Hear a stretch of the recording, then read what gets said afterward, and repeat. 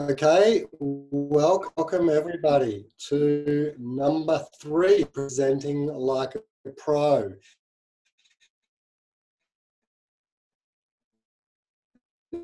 This one's going to be so much technical, more um, aesthetic um, setting to look good on the screen.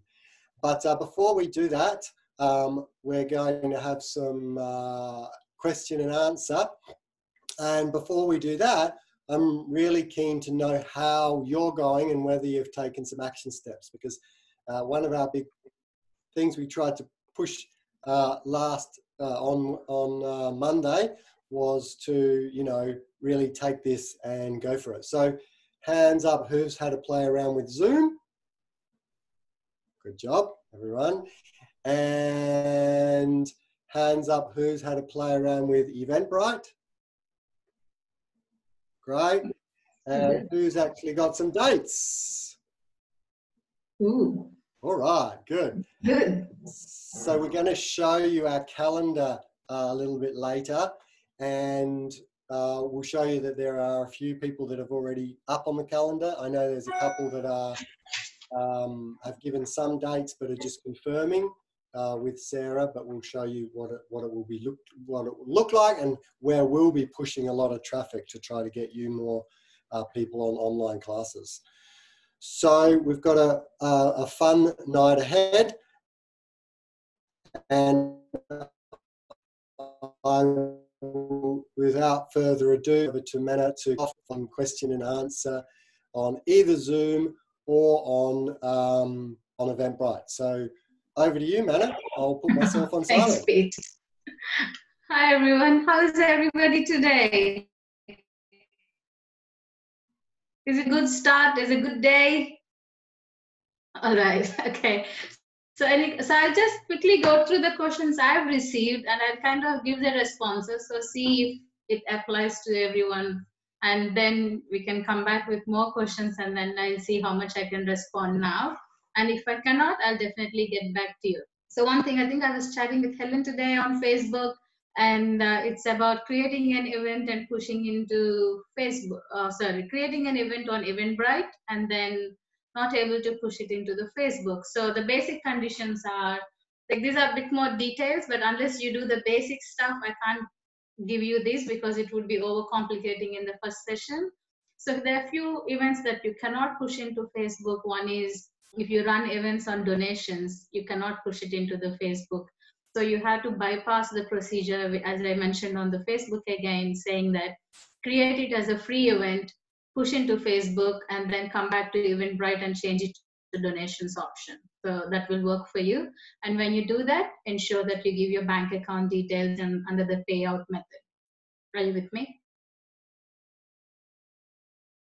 Okay, and the second question was about creating an event in Eventbrite and not able to push into your Facebook personal or group page. That's a no-no because Eventbrite and Facebook do not allow uh, uh, sharing the events from Eventbrite onto a personal profile page or a group profile page. So it should be onto your business page. So, and all business pages, they're pretty much the same. Go into the about section on the left hand side, scroll down, and you have a page ID. So there should be, and if you're not finding it, that means you're not on a business page, you may be on a personal or a group profile page. Are you with me? Okay. And number three, uh, I think uh, Julianne was asking me. That's right. So there were two questions from Julianne. Yes, you have the options on your Zoom where you can actually check the option button of register.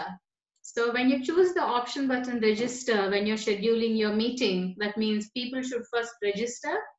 So you get an email and that's when they can attend your Zoom meeting. If you don't tick that, people can straight away log into your, you're just using the Zoom URL which you share with the with your participants or attendees. Hi. Hi, Julianne. Hi, Mena.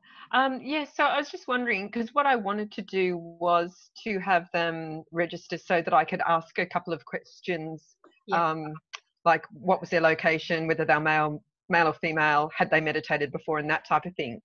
So. Yeah. Okay, so I can come back to that. So one is you can schedule poll in the meeting room, which is yes, you take a register and said you you chose that option of register for the meeting. They register, and at the time of registration, when they give their details, you don't have an option directly to send a kind of a survey questionnaire from Zoom unless you're in a business or an enterprise, uh, what do you say, version. But in the in, uh, in, in your regular Zoom Pro version, what you can do is before them attending the meeting, you can create a poll in your meeting controls. So before starting your meeting, you can create a poll and the options are, I'll just give you the breakup. It would be go into your account management on Zoom. So your personal profile, click on that. Then you will see account management on the left hand side. And under account management, you see settings and under settings, you turn on your poll button. So I'll just quickly share the screen. And I saw your query just before getting into the meeting. So, so that's instead of doing register or that's as well as? Okay, can you see my Eventbrite screen? Yes? Uh, Are you seeing my Eventbrite screen or? Uh, Mana, where's No, your an email. address? Oh, sorry. Okay.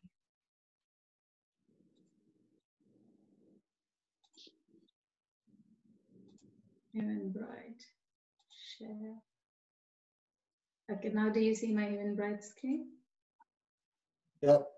All right. Okay, so if you go here, okay. So if you go into account management, account settings, and then you choose here meeting basics.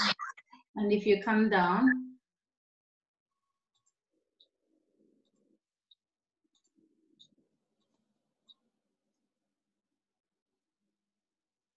So these are all the options you have. Just quickly play with your and see here polling. So you can actually turn that status on. So even before attending, starting the meeting, you can put those questions on poll and you can get responses for your meeting.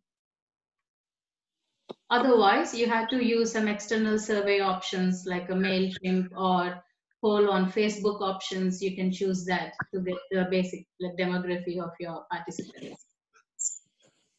Oh, okay.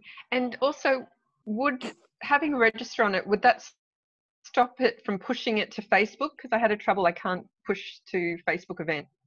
No, that shouldn't stop you. Maybe that should be some other issue. If you if you're just using a register button, that should not that should not prevent you from pushing into FB.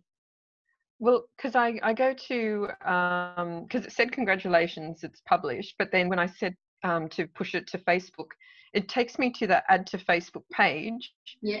but then it doesn't allow me to click or any on anything or do anything to get it any further. It just Okay. stays on step one, just page Okay. setup. Yeah, I think that's a troubleshoot. That's uh, there are two op- two two two areas where we can actually go wrong. It's not enough. You just connect your Facebook page. You also should go and add the page ID Yeah, I, I, an was- organizer. I did. I was pretty sure I did. Okay, so then I think we had to take it offline and probably we can just, if you can send me a screenshot, I'll have a look Okay. at that because registration shouldn't stop you normally. Okay, thank you. Uh, Bronwyn, I think Bronwyn is asking, can you repeat the steps you go through to create a poll? Okay.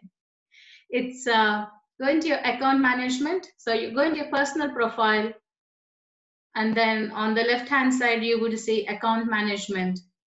Under account management, go into account settings. And then you will see meeting basic. Probably I can just quickly share my screen one more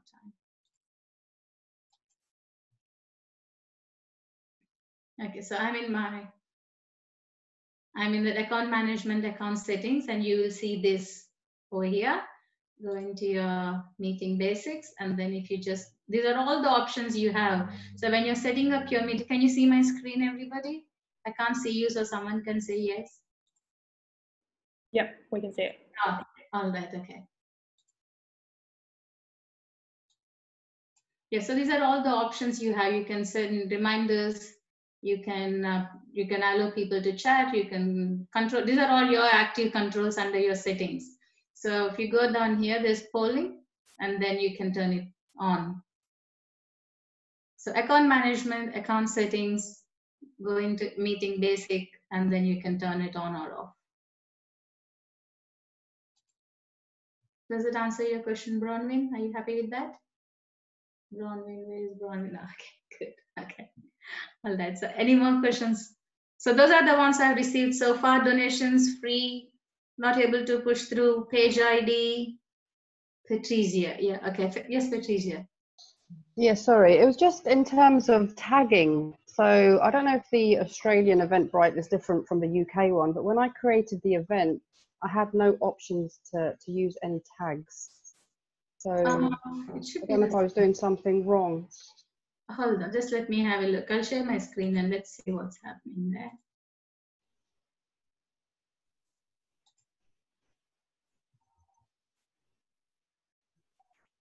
It should, under your basic info, you should see the tags. And so I go to, can you see my Eventbrite screen, everyone? Yeah.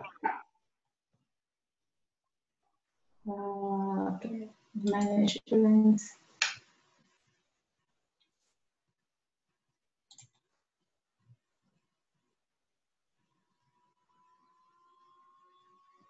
Say if I go into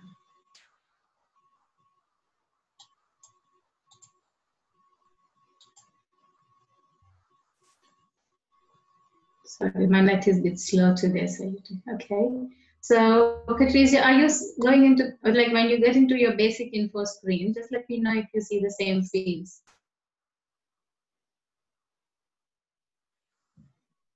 What you want me to do it right now?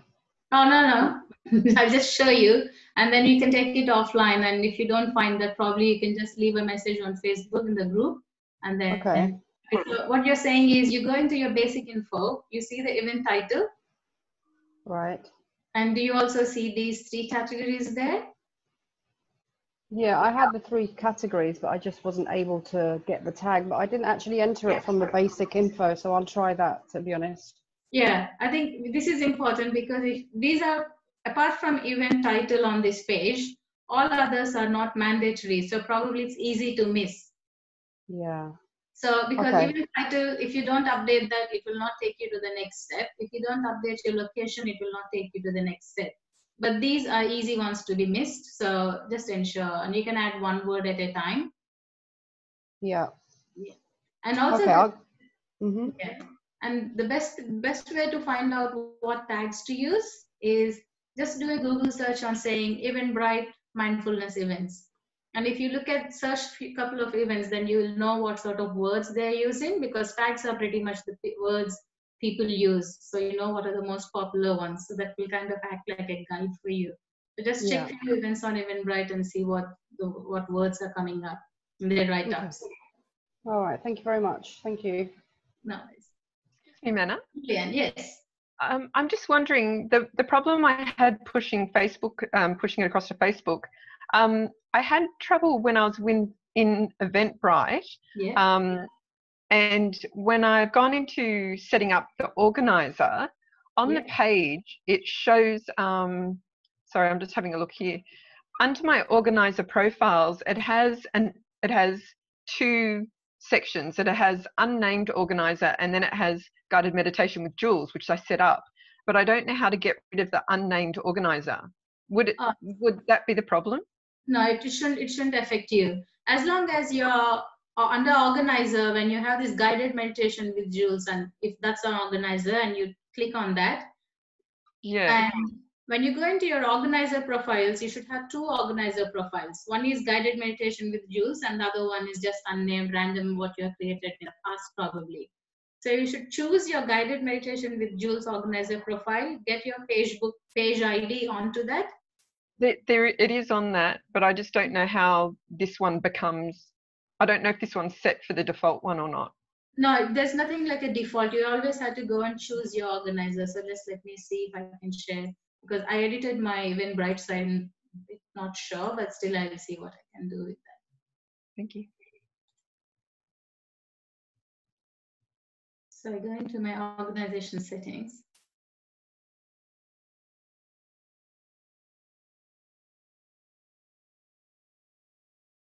So that's Skillful Mind is organizer. So I have like five or six pages. And in this case, for this Eventbrite account, Skillful Mind is the organizer.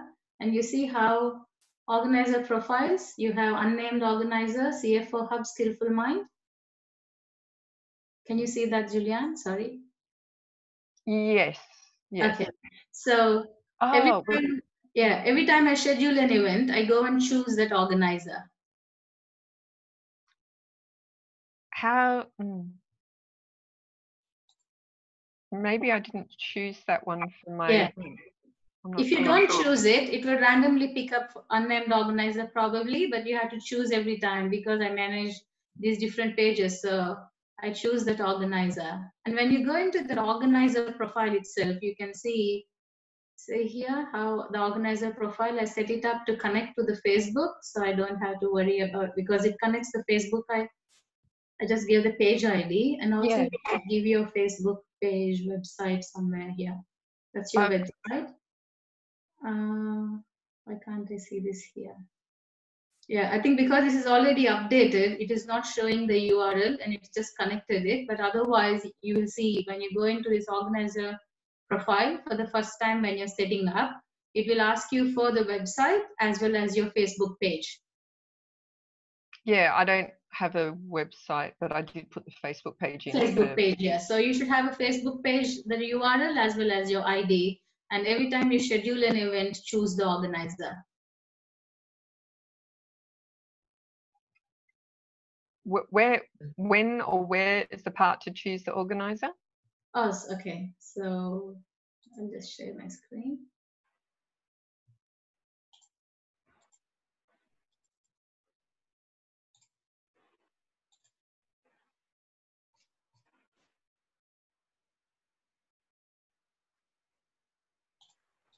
Oops.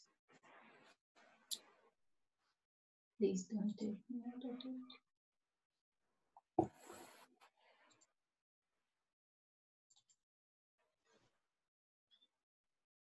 So in events, when you see the basic info down there, it asks you basic info or details. It asks you for the organizer, and we choose the organizer there. So just let me see if I can take you there.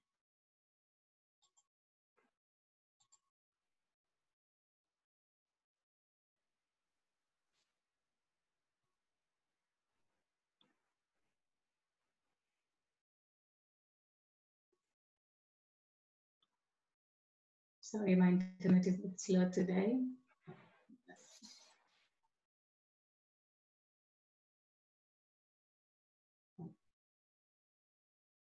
So it should be on one of these two pages right at the bottom.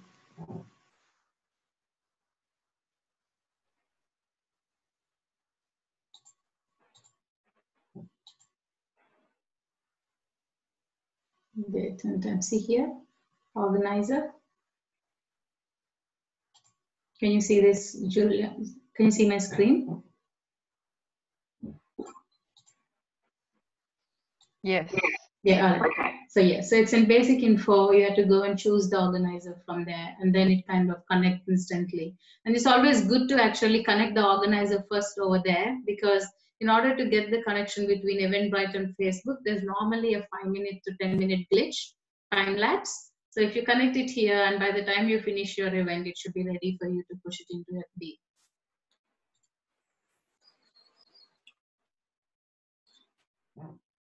All right, guys, probably time to move on now if we can. We'll still we'll stay on at the end as well for any more questions. Is that okay? All right, Julian. So that answers your query. And if you have any more questions, feel free to post that on the FB and I'll, I'll address that. And then I'll also, if possible, I'll also put some screenshots for you so you know. But feel free to start posing questions because your questions can also be someone else's challenges as well. So it will help everybody to know and we have data there. All right, so now I would give over to Sarah who will run you through the calendar for Skillful Mind and then we'll get back. Over to you, Sarah. Hey everyone. Okay, I'm just gonna quickly share my screen with you and show you uh, the last few sessions. We keep talking about the online calendar and we were speaking about it before. So I'm just gonna share that with you. We've now posted it onto the website, the Skillful Minds website as well. Can you see my screen? Yeah, cool. Okay, so this is the Skillful Mind website. I'm sure you all know it well enough by now. And if you click here, find an online class. So we've changed this over to online now, but it still has all the all your pages and information as usual. So if you click here, search, search near you. Um, we've added in these two buttons. There's still all the old ones down here as always, but now we have these two here primarily for the online classes. Um, I do just want to point out before I open them that although it says Australia and UK, they are both, this, they have the same classes on them. We've just made two calendars, so there's different um, time zones. So if you click on it, this is, for example, the Australian um, time zone, Sydney time zone. And you can see we have a few classes up here already. So Mondays with Helen, and it's got all the information, the Eventbrite link. If you click on that, obviously it'll take you to her Eventbrite um, page, but we've also put in a bit of information here. You can see more information if it doesn't all show up and so on. So it's got all of them there the same. And same with the UK one.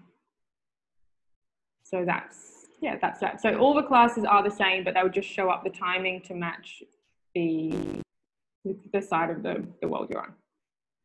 I think that's all I need to show you about that. So, Andrew, is it back to you now? Perfect. Perfect. You can just uh, unshare your screen. That would be amazing. Uh, yeah. All right. So, how are we all? Are we all feeling good now? We've got all our tech down. We know what we're doing. And if not, you know that we're there to answer questions that you need, any questions that, you, that you're looking for. So what we're going to do this, it's a bit of a turn this time. So we've, we've done all this tech stuff and it's, it's hard slog sometimes to get to where you want to be. And this hopefully will be a little bit more lighter, a little bit more fun for you to, uh, you know, think about how now you're presenting in front of the screen, how you set up your workshop. So some of the things I would like to talk to you about today are all basically what you can call one percenters. You know, there's there's no big main thing that you do that's going to make you switch on and go, yes, I'm I'm presenting like I'm uh, a news reporter on TV. But if we can just do these enough one percenters well, then that just makes the session or makes your session that bit more enjoyable. So I'll just share my screen and we shall get into it. Okay. Just do that. All right, so you can see my screen in front. Are we all good? Excellent. All right, let me. Okay. So what we're looking to do now is, like I said, this session is presenting like a pro. This is just the, the few basics that you can do to get yourself now ready to run a workshop. So exciting. So we're going to look at first is we're going to look at the power of positioning. You'll see that all these are called the power of because it's important that you do each one of these or do elements of each one of these really well. So the first thing is, like I said, about position, how you position yourself on the screen. And it might not sound like a, a, hugely important thing, but hopefully you'll see as we do some of this and as I show you some of these slides, how important that can be. So you, might see and you might have heard and you might have seen lots of selfies from people on social media and people often have the camera above them or they have the camera below or just, just the face on. Now, they did some research on why people do either uh, from above or below. And what they actually found was that uh, for women, exa- for example, if they want to look on the picture attractive, more attractive to, uh, I shouldn't say the opposite sex now, should I, to a, to a different partner, um, or to a, to a potential partner, they will take the picture from above. However, if the same woman wants to show support to somebody, uh, or, or, a picture that's showing kind of support, they will do it face on. So straight, straight face on. And the difference is for a man, if he wants to show that is attractive to a potential mate, he will go below. And if he again wants to show support for, uh, for in, in a picture, he will again go face on. So there's lots of reasons why this could be, and I'm not I'm not the scientist who did the research, but from my understanding, for for a man, for example, if he wants to show that he's uh, like I say, a, to, to, to a sexual mate, for example, he will do it below to make himself look bigger because he looks more dominant up on the screen. However, when a woman does that, she's making herself, and potentially, and again, I'm not saying this is right or wrong, but the, some of the thinking is that if she's showing it from above, she's actually showing almost submission. She's lower than a potential mate. So again, you've got to remember that these things go back right up until we were hunter-gatherer days. These are things that we do unconsciously. But it's interesting, it's an interesting scenario to think about when you're positioning yourself upon the screen. So just with a show of hands, if I can please, what do you think the best position for you to put on the screen? Do you think it's above? Put your hands up for above. Do you think it's below? Or do you think it's right in front of you? Yeah? All right, there we go. There we go. I'm glad you all said that because I would suggest myself as well that that's the right thing to do. So I'm just going to show you the next slide here. And this is our glorious leader. You'll recognize this gentleman here. And you'll notice that with Pete on that screen, because I just edited an, um, a video for Pete recently. And if you look, he looks really good. He's, he's, he's in that support position and he's looking directly at the camera. So that's a pretty good, that's a pretty good pose, isn't it? Would, would you agree? Yes or no? Yes? That's a pretty good pose. I'm going to show you the next one because when I edited this video, I've just taken stills from this, by the way, but when I edited it, this is the next picture that I did. This is what I put in. There you go. Now, can I ask you, do you think that the first picture or the second picture, uh, forget about facial expression, by the way, do you think do you think he looks better in the first picture or the second picture? So first, put your hand up for first. Again, I can only see five of you on my screen. Put your hand up for second. Yeah? Well, let me give you the reason. In fact, I'll put them together here and let's have a look. Okay? So you can see there the position that he is in that screen. Now, I would suggest, and maybe I'm, maybe I'm wrong with this, but I would suggest that he looks better in the edited version. What I've done is I've brought him up higher in the, in the screen, so he's only got around about two inch between the top of his head and the top of the, and the top of the screen. So that gives him a bigger position of power within that screen. He looks better. For me, when I saw the original one in the original video, and it's okay because I can edit it, but when I look at that, it makes him look small. Would you agree with that? Yes? Yes or no? Yeah? Great. And I, so just moving him up slightly, just give a better view for me of what, of what Pete can look like on a screen. So when you think about doing this for yourself, I want you to think about how am I looking? How am I positioning myself within this screen? To am I looking small? Like if I if I stand here, can you see the difference in how I'm uh, positioning myself in a position of authority, for example, because you're listening to me, than if I'm standing here? It makes a difference, right? But yet this is one percent a thing where people will judge you, unfortunately, within the first four or five seconds of seeing you on a screen, just like the would in person. So it's important that we set ourselves up right at the beginning. So, the next part, I'd like you now to read. I know it's difficult for some of you because some of you are on the phone, some of you are um, sat down holding, or you've got you've got your iPad or your laptop somewhere. But I'd like you to position yourself. I'm just going to give you a few seconds to position yourself better in the screen. And, and, and if you if you feel that you, you've got a bit of an angle going on, lower, higher, you know, where do you want to be? Do you want to show it as a bit more support? Okay.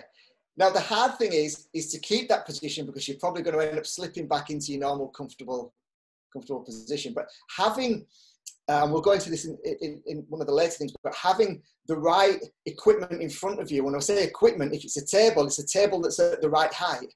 So, for example, the table that I'm on currently, I've got it stood on the table and I've got a box because I like to stand up. And so I've got a, I've got a box and I've got my laptop sat on top of a box on top of a table, but it's stable, right?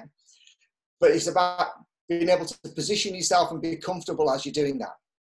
All right, are we all feeling comfortable? Yes, fantastic. All right, let's move on to the next one. So this is called the power of thirds. Now, if any of you are budding uh, photographers, you probably know this rule. Does anybody take a lot of, a lot of photographs? Have heard of the law of thirds or the power of thirds? Yes, no? Okay. All right. So what the power of thirds is, is um, it's how we view the world and how things just look different in, uh, in the West. Let me just show you this picture first. So can you all see that picture? Yes? Is there anything wrong with that picture? It's a quite a nice picture. It's quite nicely composed.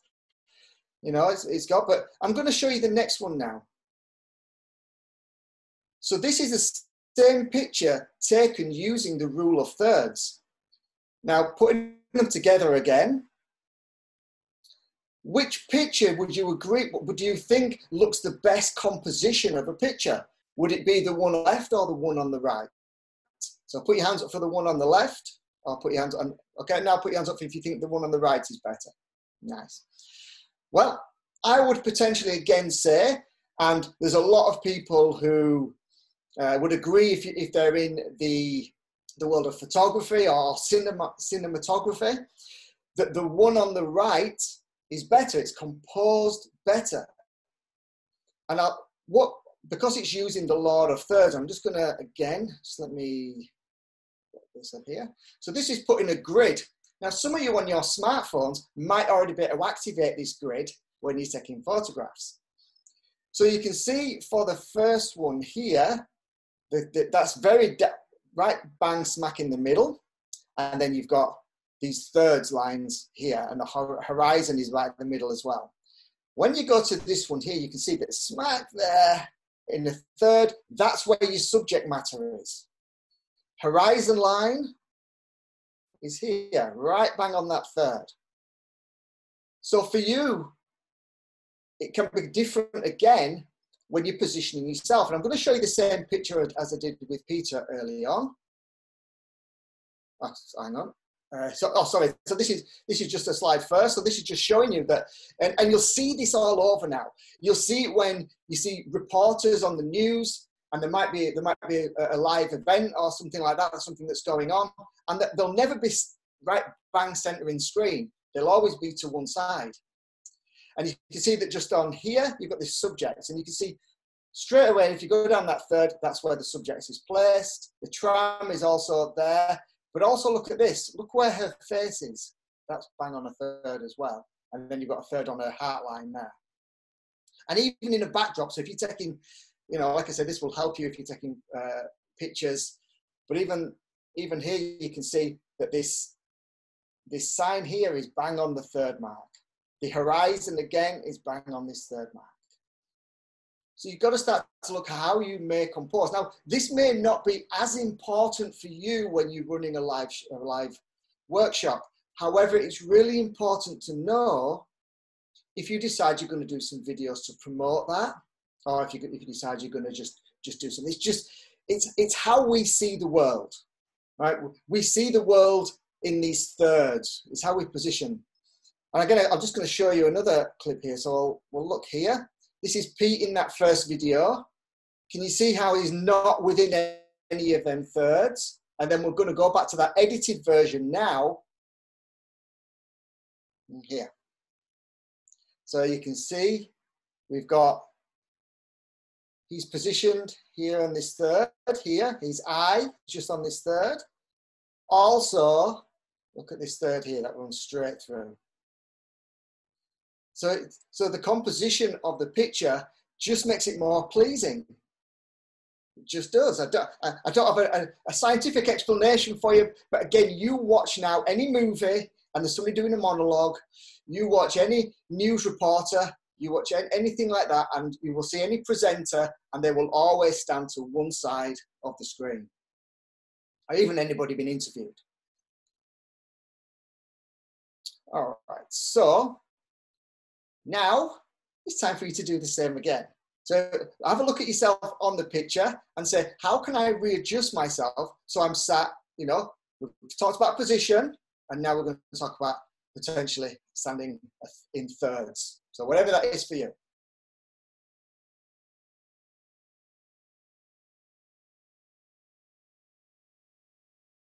Beautiful, Patricia. You look so much better already. How's that? and now I can see you, Julianne, as well. Great. All doing so well. And Mana was sat there. She, we did this earlier on, so Mana already knew. So that's, that's why she's positioned herself like that. all right. So, so do you understand what we've talked about so far? Are you all okay with what we've talked about so far? Has anybody got any questions what we've talked about so far? If you have, put them in the chat box. We can have a look at that later for you. All right, let's crack on. So we're now going to talk about the power of lighting and how it can make such a difference to how you look and how you're perceived upon the camera. I'm going to show you this picture first.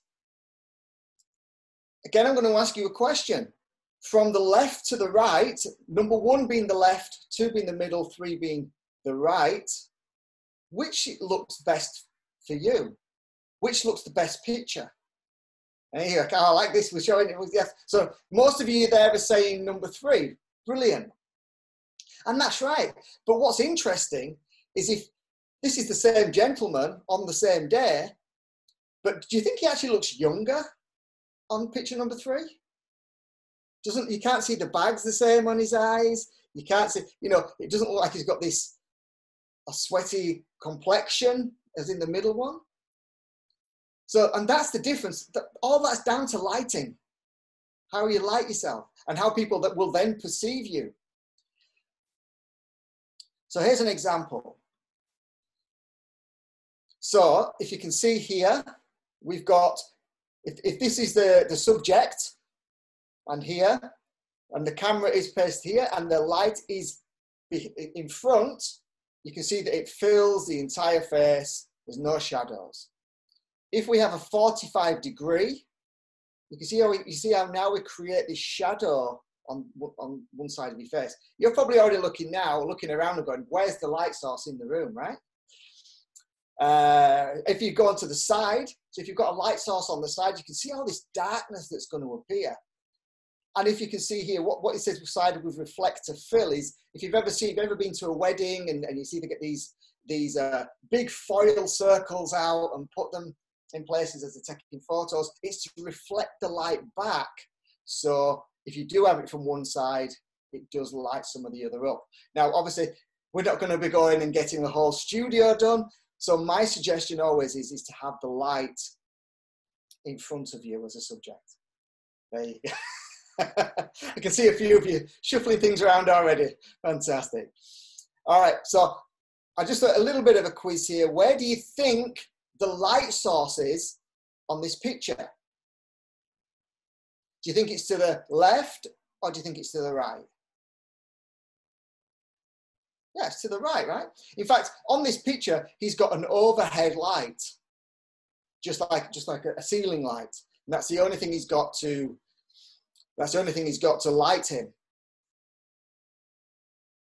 Have a look at this picture. Where do we now think the light source is? Is it to the left? Is it to the right? Is it to the front or is it is the light source behind him? What do we think? Think it's behind? Yeah, you can point. I can see if you point. Great. And as you can see, that you're right. The light source is behind him. And I'm sure many of you have taken lots of pictures where the lights are, where you think, oh, that's, that's a really good picture. You take it and you can't see nobody's faces because of where the light is. I'm sure you would agree. Here's another example of that. By a window, which is a real good natural light source, but by a window, look how dark he is. It's just a silhouette. Now, can you imagine not realizing this and actually running a meditation workshop with that sort of lighting? is it blinding you now, Julian? I can just. That's all right. So, this is the light source. Well, again, you've got to be really careful. When I've, I've done the same, I've taken many a picture, and then, then when I've gone to look at it, thought this is this is just absolutely no good. The best light source you can have is outside, a natural light source. However, there's one caveat to that. So you can see here, and again, I'm guilty of taking many pictures and saying smile, and the smiling, but they're all squinting as well because the sun is directly on them, and, uh, and they, they can't help but, but squint to be comfortable. So the best place if you're going to run one, again, this is if you can, and I'm talking, these are one percenters. You might take some of these, you might not take all of them. But the best light source is if the light source is in front of you and it's a natural light. That will give you the absolute best. Now, tonight and, and in these sessions, when you're in the UK, you'll just be getting some nice light source at the moment. It's dark out here, so we've got to have artificial light uh, to, to run through. But if you can do it this, if you could have a window, when I do some of my videos and I do them, uh, do them in my front room, I've got a big long window and I put the camera there and I stand looking in front of the window. And again, caveat, unless the sun's blaring through and then you won't get the same, the same result. I see some of you have already been doing this a little bit let's just see. Just have a. I'm going to give you a couple of minutes. This I want you to just have a play. You know, maybe you're looking and going, "Where's the light source? Where do I need to just shuffle around to to get the best uh, look for me?" So just have a play and see how you go with that. I'll give you. I'll just give you one minute to do that.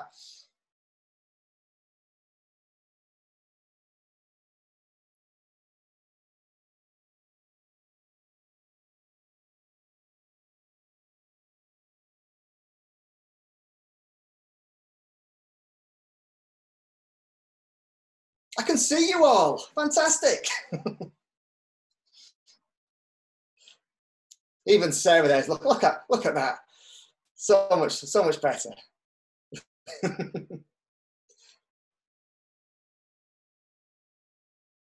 all right. Hopefully I'm feeling comfortable now. Uh, you're looking better. Don't forget, now you've moved to a better light source. What we're doing, we've still got to keep that position, still got to look that thirds. So, but doing really, really well. So we move on to the next one now. So the next one is the power of equipment. And guess what? The more you spend, the better it will be. However, the aim of this is that we're not going to spend anything. We're going to use the things that we've got because what I want, what I want you to understand is that something is better than nothing. I'd rather you be getting on with it. So progression is better than perfection. I'd rather you be getting on and getting this up and running. And if you do feel you need something, then later down the track you can go and buy it. But I don't want it to stop you. If you're like me, and when it comes to this sort of stuff, I'm a, little bit of a perfectionist. However, so it, that can lead me to not do something because I can go, oh, well, I'll just put it off because I really need this to get going or maybe I'll just wait a week and I'll go and buy this. And once I've bought that, then I'll have a look. And guess what? Something always comes up. So progression is better than perfection. Let's get these things up and let's get them running. But I just want to give you a, a, a basic understanding here. Any one of these is absolutely fine. I, at this moment, I'm working on my laptop and other than that, you can work on your phone. Your phone has got a really powerful camera. But what I would suggest here is when you are doing that, Uh, like you see, that's got a gimbal. I don't know if it, most of you are aware of what a gimbal is, but you can hold it, turn it, and it will keep the camera steady for you, or just have it on a solid base. You could have a big camera like the third one there, or a DSLR. Now, there's nothing wrong if you've got a DSLR and you're going to do some recorded videos, fantastic. But to me, I don't see the point of setting up something like that with leads going through to do live feed. Manny, you are you stopping me for a, a reason there, or you'll have to unmute yourself. Sorry.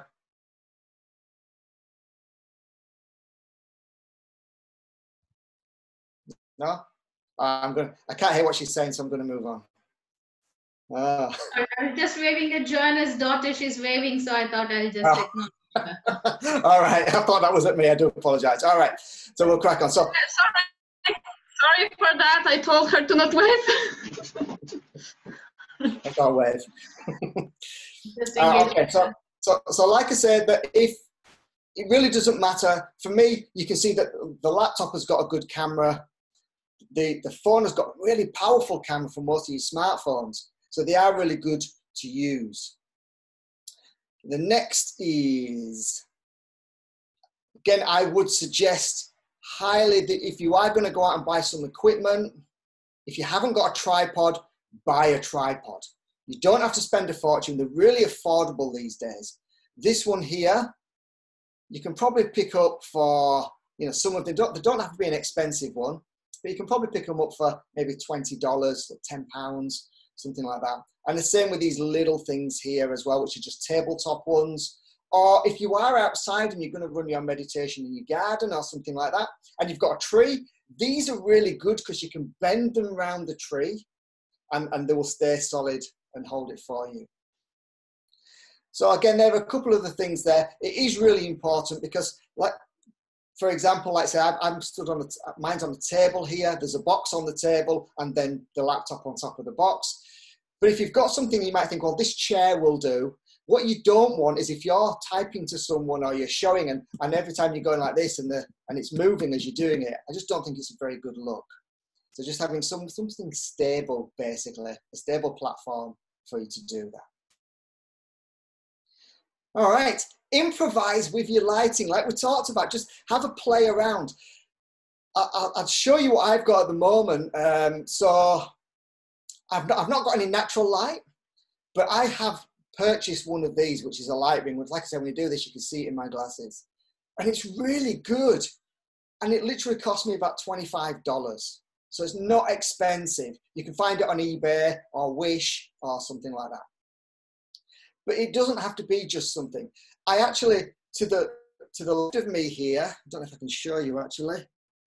Don't, this might come in. Well, there you go. So I've actually got a lamp and I've taken the I've taken the lamp shade off and I've just got that at the side to create a bit more because I knew that I had that the light source in the room was here. So I wanted something to balance that at this side. So I've got uh, a lamp with the light, uh, a lamp with the shade off, and I've got the light ring in front of me. Now, what I really like, I'm going to show you the differences now with this with this light ring, and this is why I think it can it can make the difference between a good video and an excellent one. So this has got a few settings on it. And just watch the screen now for those of you who can't see a screen. I'm just going to, first of all, I can adjust the brightness of this. So just here, can you see that it's going slightly, slightly darker? Or I can go back up again. Yeah. And also, it has two lights in it. So it's got a, a bluey light and it's got a, a warmer light as well. So I'll show you the difference. I'm just sat with a warm light on at the moment. So if I do that, can you see the difference in complexion? So again, this sometimes is quite good if you just need the extra bit of light, but you've got natural light coming in. Or you can have both of them on. Oh no, sorry, that's so that's the that's the bluey, that's the cream, and that's both of them. Again, blue light, cream light, or warm light, should I say, and then both of them. But I've just been operating on here.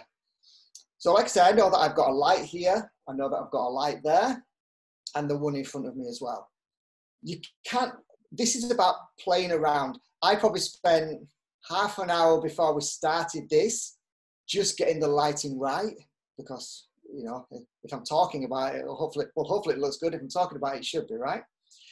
But on a good day, if you're in front, you may only need. I won't use the light ring if, it, if it's during the day, and I've got the, I've got a light source in front of me.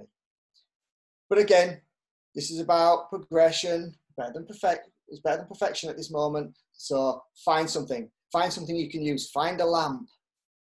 Find a light or something. Not something that's not bright in your face, but just something where you can really uh, look your best. You know, again, the more professional you can come across, the more people will want to and, and feel like they're, they're getting something from you. You know, it's like anything else.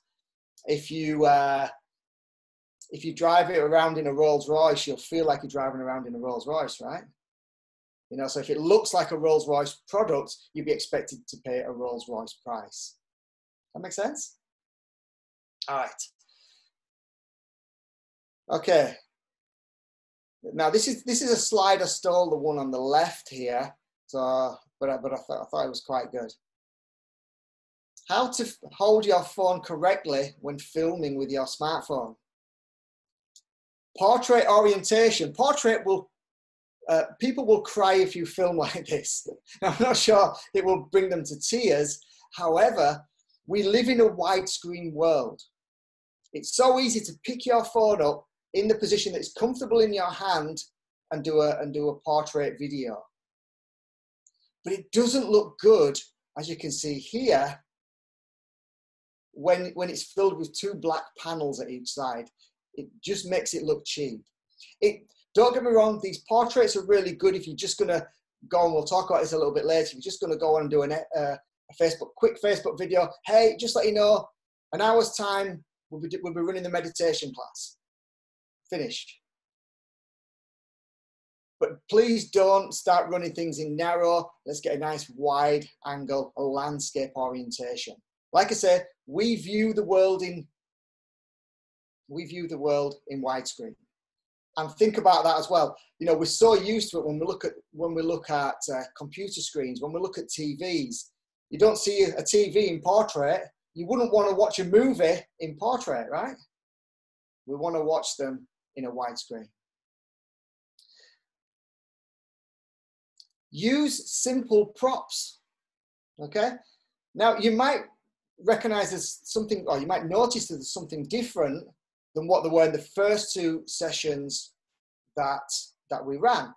Certainly, from my point of view, I had a complete bare back at the, at the back there. Now I've introduced my friend and my friend's actually quite famous because he appears in quite a lot of my videos. This here, this is Bernard. And Bernard appears in a lot of my videos just to give just to give it a bit of a feel. There's something about having a plant in the picture that just makes it feel a lot more homely.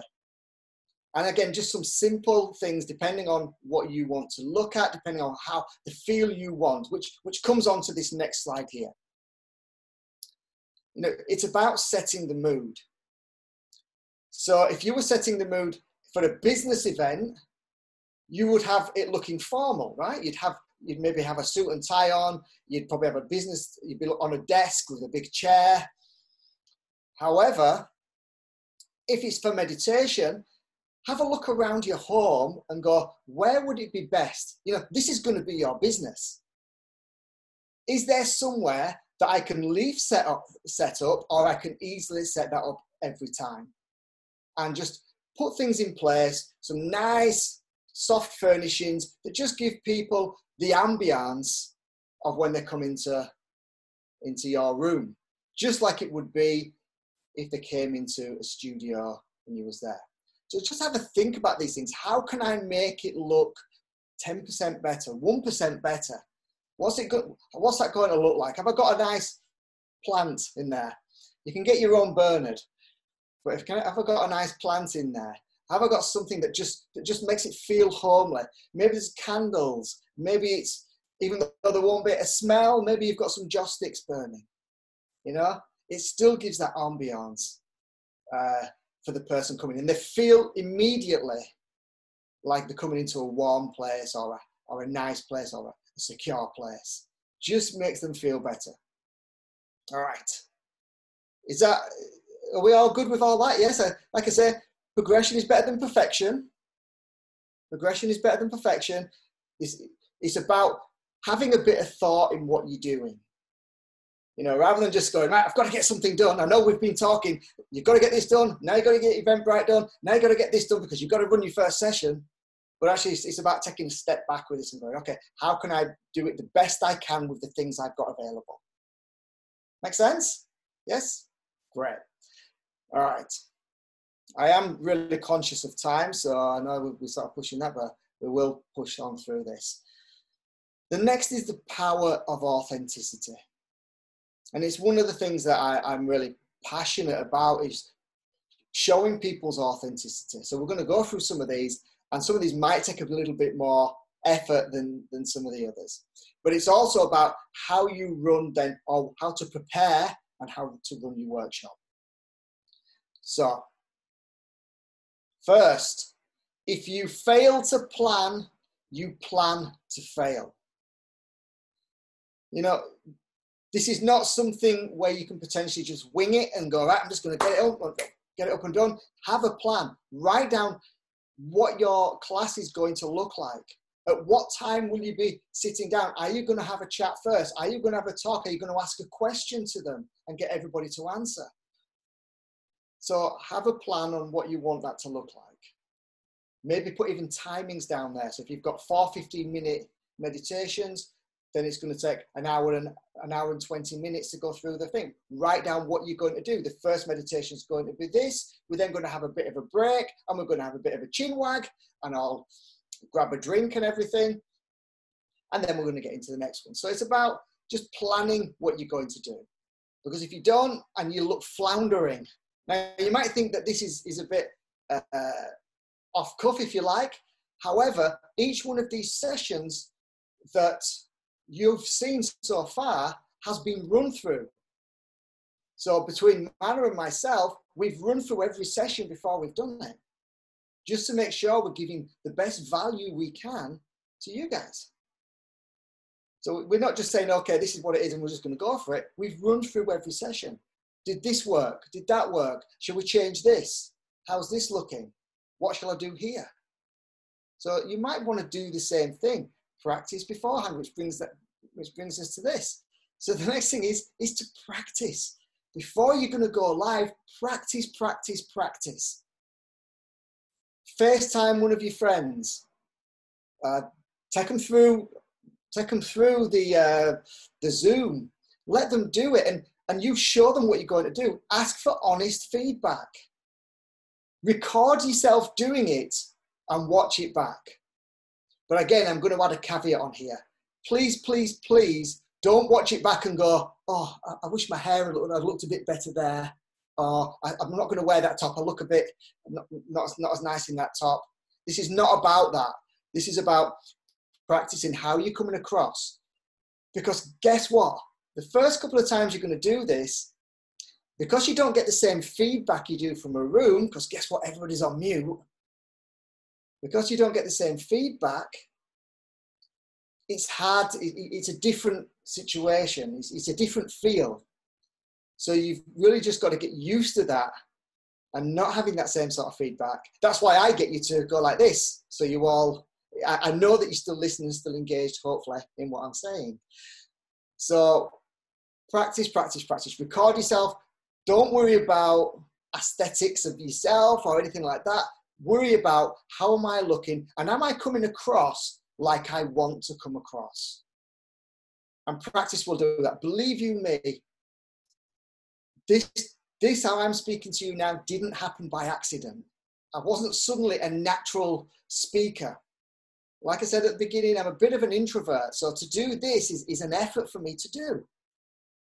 But with practice and with the understanding of why I'm doing it, that makes the biggest difference. I worked recently uh, with Manna. I'm sure I'm, I'm just bringing you're in now, Manna. I just bringing. Uh, I worked recently with Manna on, on some of her videos, and it took us quite a while to get to the real Manna. Is that right, Manna? It took us. It took us. It took us a few attempts before we got the real Manna that you see.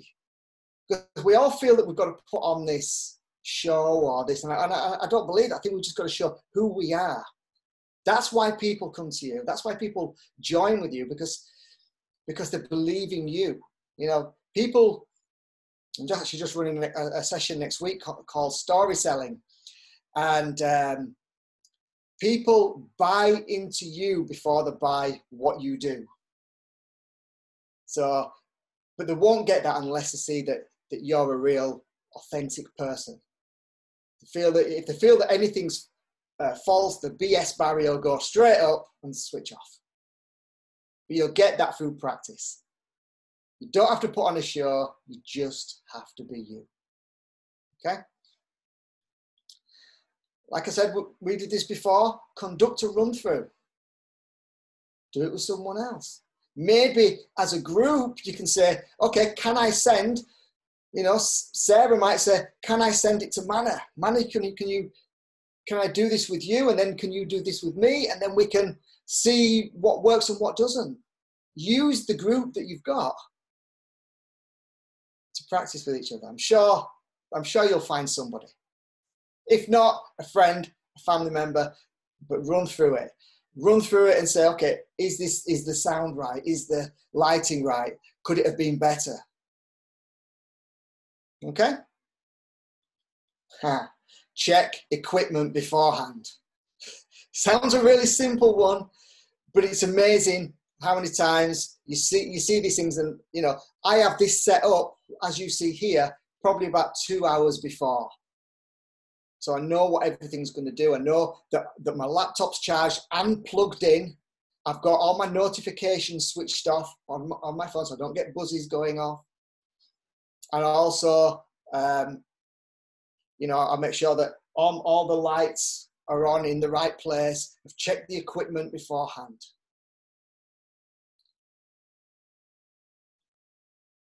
Put your phone in flight mode. Okay.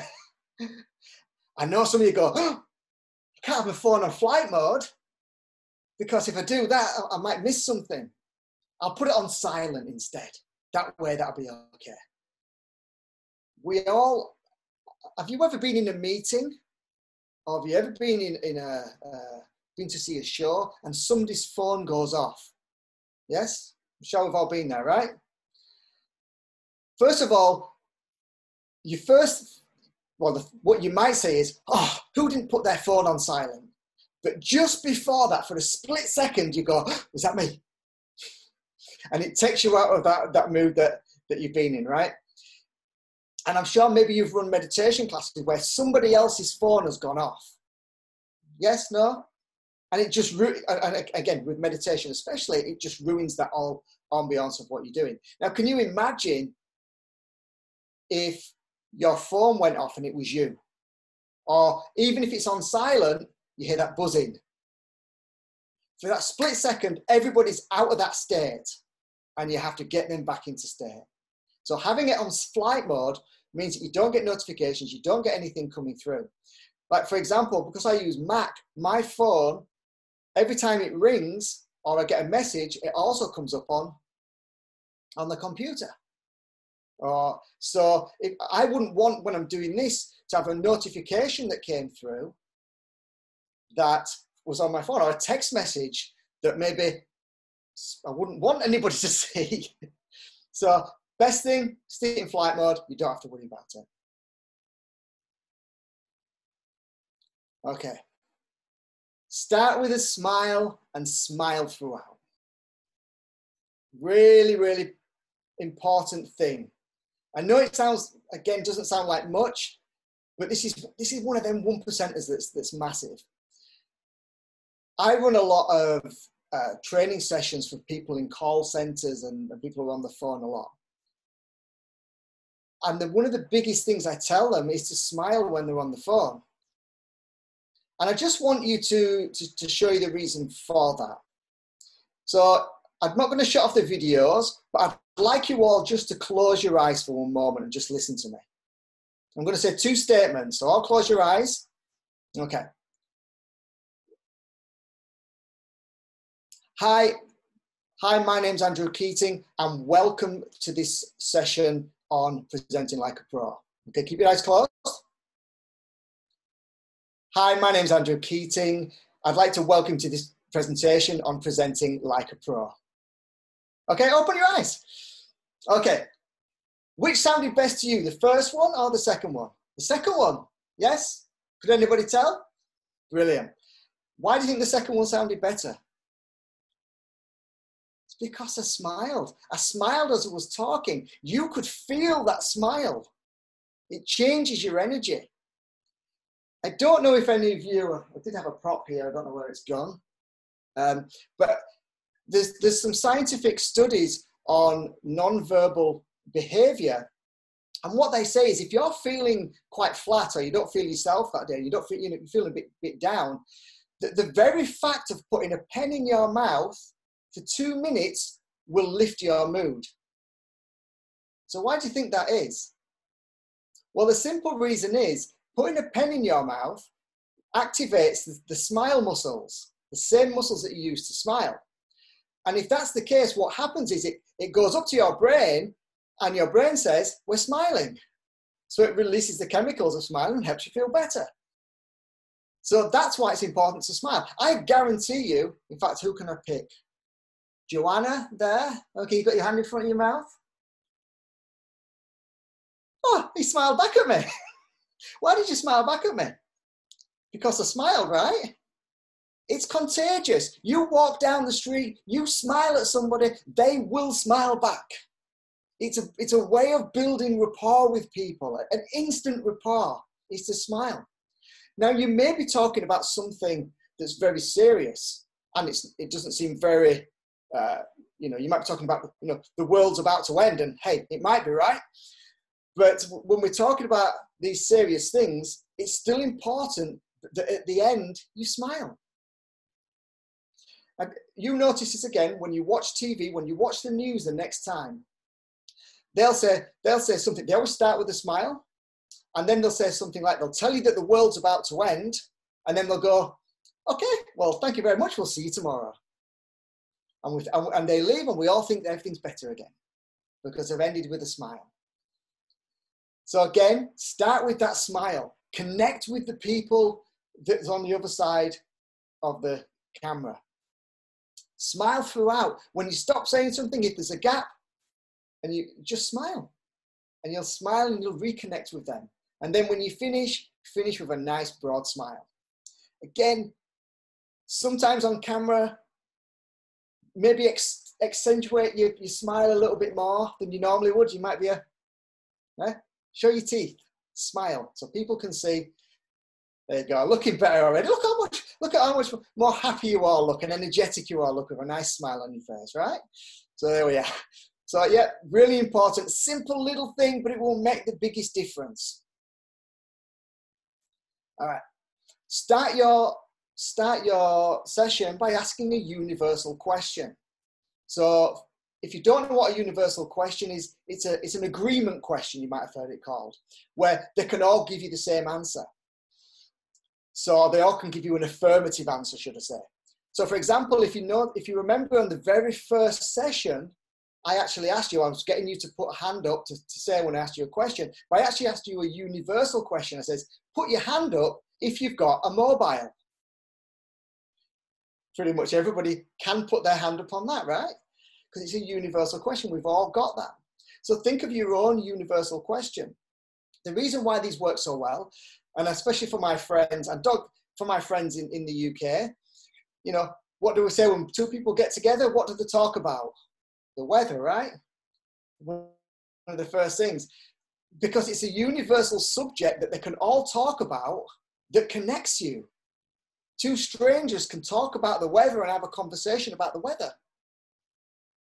So a universal question. So start with that, and that's getting an agreement from everybody. You might watch Tony Robbins, or you might watch somebody somebody like that on a screen, and you'll see that a, lot of the time throughout his sessions he's going, uh, "Do you agree with that? Yes or no?" And he'll put his hand up, and everyone will go, "Yes," because he's getting an agreement to what he's doing. So think of your own universal questions that you can get throughout the session or at the beginning of the session, should I say. That way, that agreement gets them to buy into you. And of course, it's a good rapport builder. All right, signpost is the next one. So what this is, it's signposting what you're doing before you, uh, what's going to happen before you do it. So for example, the last time you went to the dentist, say for a filling, he didn't put you in the chair or she didn't put you in the chair, lay you back and start drilling in your mouth or injecting you. What they did beforehand is called signposting. So they told you what was going to happen before it happened so there was no surprises. So they might have said something like, okay, so we're just going to put you back in this chair here. Um, this is the tooth we're going to be working on today. First of all, we'll give you an injection. You might feel a little bit of a scratch on the inside of your finger. We'll make sure it goes really numb first, and then you might feel some movement in the mouth, and we'll talk you on the way through. So it's signposted exactly what's going to happen before it happens. And it's important to do the same. And again, if you go back to the very first session and the, and the, uh, the first, the beginning of the second session, I told you the things that might go wrong. So I said to you something like, uh, well, you, you see that there's lots of things that can go wrong in a session. It might be that you hear some noise because my dog's laid down here, or I've got the kids in the other room there. You know, you might hear some noise from them. If you've told people that beforehand, they will accept it when it happens. So if something does go wrong, I said, we might the internet connection might drop off. You know, the power might go out. And what I'm doing is I'm signposting things that might happen before. And once you've done that, it's no surprise to anybody if that happens. But suddenly, if one of my children runs through the door screaming, and I haven't signposted that that might happen, that's going to be a shock for some people and might take them out of uh, state. So, signposting what's going to happen right? We're going to do four meditations today. The first one is going to be on this, then we're going to have a five minute break, then the second one's going to be on this. Now, you may hear some noises going on, but I don't want that to bother you as you go through these things. We just want to put it to the back of your mind. This is what, you know, and people will understand that as long as you've told them first. All right, look directly at the camera. Now, I know this might sound a really silly thing. Of course, why would you not be looking at the camera? But I actually find this really hard. So, for example, as I'm talking right now, the camera is, I can usually see it on the laptop because there's a little green light that, that tells me exactly where, where the camera is. So I can look directly down the lens at the camera. But if you're like me who likes to connect with people, I'm actually looking at some of the pictures on the screen as, as I'm doing it because I like to connect. Now, it's not too bad if you're on a laptop. The, different, the difficult part is if you're on a mobile phone. So, for example, if you've got a mobile phone and remember it's in landscape mode, their camera is there or there, right? If you're looking here, you're not having direct eye contact. So it's important that if we're addressing addressing the, the, the, the people out there, your, your members, that look at the camera if you're looking right down. So, so rather than me looking like I'm looking like this and talking, it's far better if I'm talking to the camera in front, right? Little thing makes a difference. Again, this comes down to really the authenticity of saying, be unashamedly you. Now, what I mean by this as well is you don't have to be somebody, you don't have to present right? You don't have to be a newsreader. You, you don't have to be the Tony Robbins. You don't have to be, I don't know, who, somebody that you really like who, who's good on stage. You don't have to do it. All you have to be is you.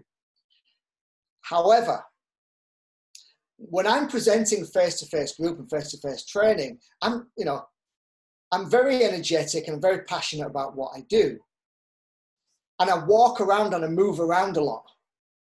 It's just what I do. I pace up and down and I walk. What you have to do is be unashamedly you minus 10%. right? And what I mean by that is if I was talking to, to a face-to-face group now, my, I, I, use my hands a lot, as you can probably tell. I, I'm, I'm a lot more uh, mobile than what I am. But if I was suddenly walking around here as I'm talking to you, moving backwards and forwards and clapping my hands. It just looks it just looks strange on the screen, right? But if I was in a room, it would probably be all right. So what I do is obviously I'm still here, but I'm unashamedly me, but I'm 10% less energetic, 10% less sort of passion. Hopefully that still comes through. Now, if you're really calm, if you've got a really calm approach and really think, be, be unashamedly that, just less 10%. And I'll give you I'll give you an example here as well, where I talked to you I talked to you earlier about I was doing the video with uh, a v, I, I, editing Pete's video. When he did it, now when I get the feeling when when Peter speaks, and he may tell me wrong here, that every word that comes out of his mouth has been considered before it comes out.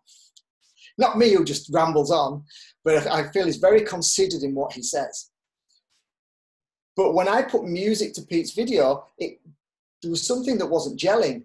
But if I, but what I did is I upped the speed of what he was saying by 10% because he's very considered and, and uh, you know, sort of softly but um, slowly spoken. But just upping him 10% made that better with the music and made it more engaging. So for that, because he, he was he's slow and considered, his less 10% is actually plus 10%. So think about what you do and maybe just tone it down the slightest bit. Just so, you know, if you speak really, really quickly, people can gauge that easier when you're face to face and can listen. But maybe just slowing down 10% would make it just that little bit more easier to hear, especially over the microphones. But the main thing is, I can't stress this enough, just be you. That's why people and your members, and that's why they come to your to your wonderful meditations is because you're you. What did I say to you earlier? People buy into you before they buy into what you do. So I just want you to be who you are. Okay? And kind of last but not least, have fun. You know, you are going to be nervous the first couple of times you do this, but the more you do it, it'll just become natural. This is the new world when people realize it might be six months, when people realize that they can get the same results over over the, over uh, an online event that they can in person, they might not want to leave the house.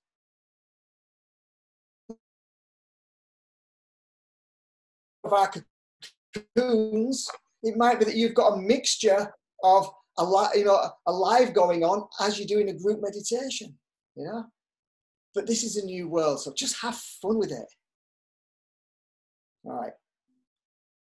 And the next thing I just want to talk about, just want to really touch on, is I want you to create your tribe. We're going to talk about this a little bit in the next session.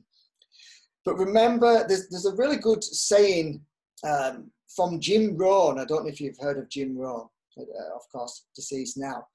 But he said that you are um, a percentage of the five people you hang around with. So you are so, and that can be for everything. So you're like the five percent. Sorry, you're like the five people you hang around with most. So people, again, the members that are coming to you like something about you. But what I mean by this as well is, and I know that when we talked about this, I would highly suggest when you do your Zoom videos that you have let people come in and talk before you do the video. So, like tonight, for example, you had to be let in when the host was here. I'd have the waiting room personally for you because if people come to your session, what do they do before they sit down to meditate? They probably have a chat with somebody, and what's probably going to happen is, is they, they debrief their day and download their day before they move on. If suddenly you're just coming into it and then starting, they're missing some of that community side. This is still about creating a community for your tribe. And it might be that after the session, like we've been hanging around a little bit to answer your questions, you might do the same, but just having a chinwag. You might have a question of the day. So after the meditation or before the meditation, you might have a question of the day, you know, and it might be something really silly that people, everybody has to answer. And it just creates something and, and keeps the connection going between you and your membership.